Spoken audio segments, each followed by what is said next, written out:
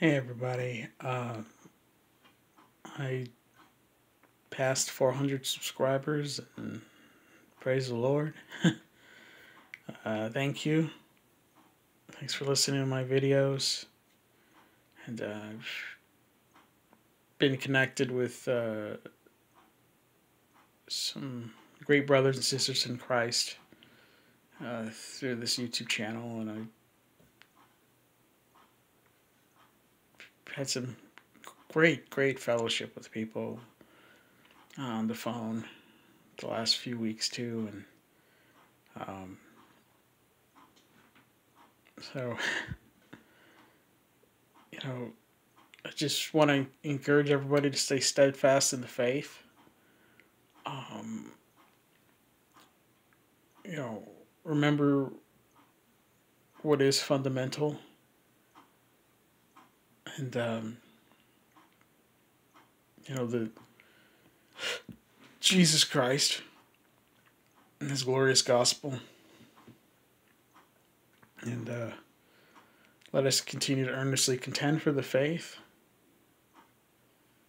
Um, may God use us for His glory.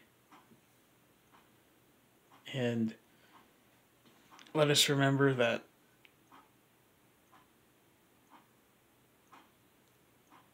uh, God has given us the responsibility to be ambassadors for Christ and to give people.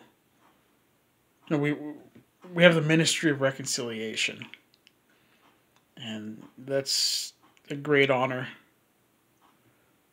that God wants us to tell people about his only begotten Son, Jesus Christ, and what Jesus Christ did for everybody. And uh, God wants to use believers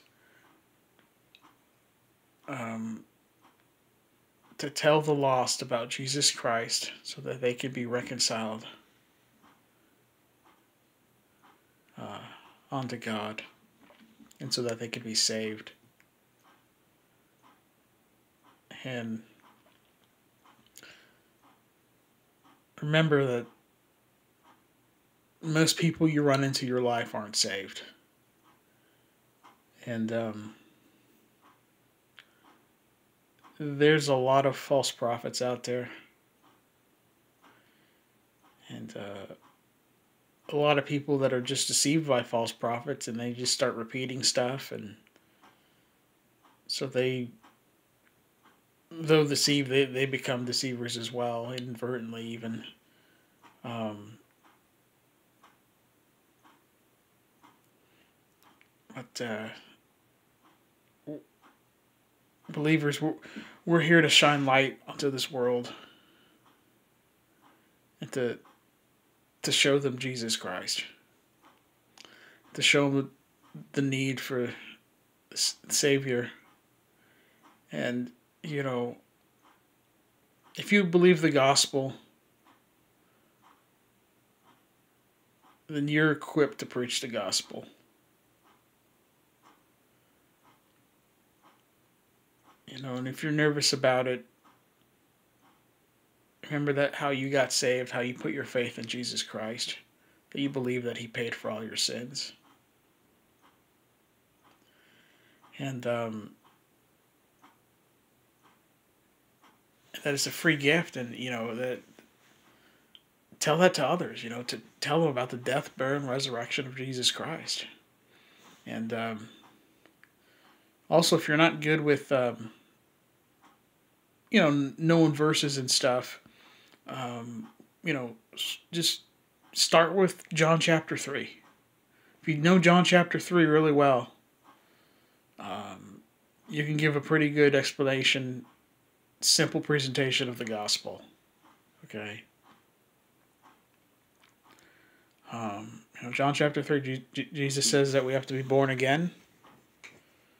Um,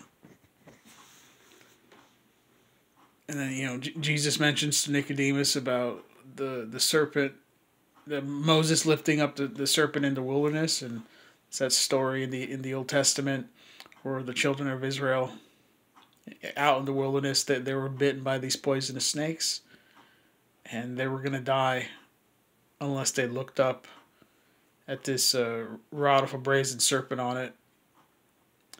And uh, you know if they didn't look to that they would they would die. And uh, that literally happened in the old testament but it's it was also symbolic picture of jesus christ because um, you know jesus christ was made a curse for us on the cross. He who knew no sin became sin for us so that we might have you know his, so we could have his righteousness and imputed onto us so you know the, the that brazen serpent represents uh, sin on the cross. And yeah, Jesus Christ wasn't a sinner, but again, he had our sins imputed onto him when he was on the cross, so that we may have his righteousness imputed onto us if uh, we believe the gospel. Okay? And just as the, the children of Israel did in the in the wilderness, all they had to do was look at that brazen serpent, you know, us to be saved. We we we look upon Jesus Christ. And uh, we, we acknowledged what he did on the cross. Right? That he actually did pay it all. That he actually is who he says he is. He's the Savior. And uh, Jesus said in John 3.15 that whosoever believeth in him should not perish, but have everlasting life. Or excuse me, eternal life. Another word for eternal life is everlasting. In the famous John 3:16, for God so loved the world that he gave his only begotten son, that whosoever believeth in him should not perish, but have everlasting life. If we continue reading, it says, For God sent not, sent not his Son into the world to condemn the world,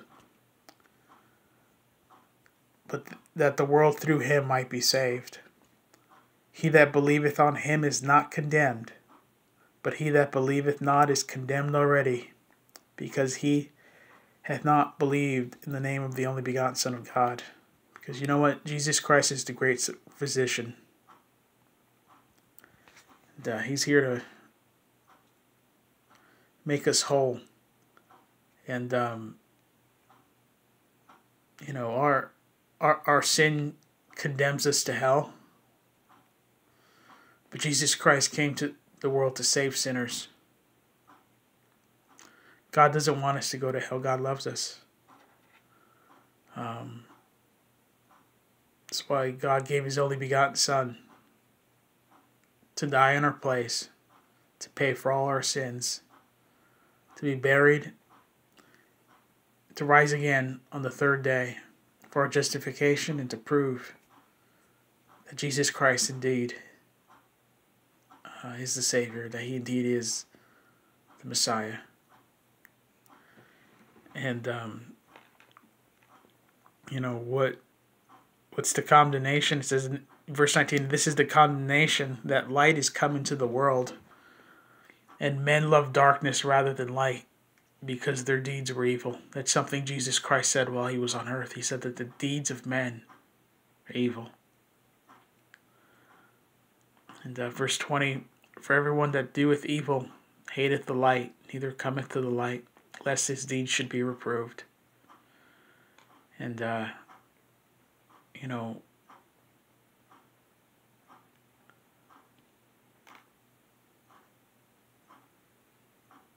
people had Jesus Christ crucified because he called them out on their hypocrisies and they couldn't stand it. They wanted to justify themselves and they thought that they were holy and self righteous, but ignorant of God's righteousness. They went about and tried to establish their own righteousness. And they went as far as to crucify Christ.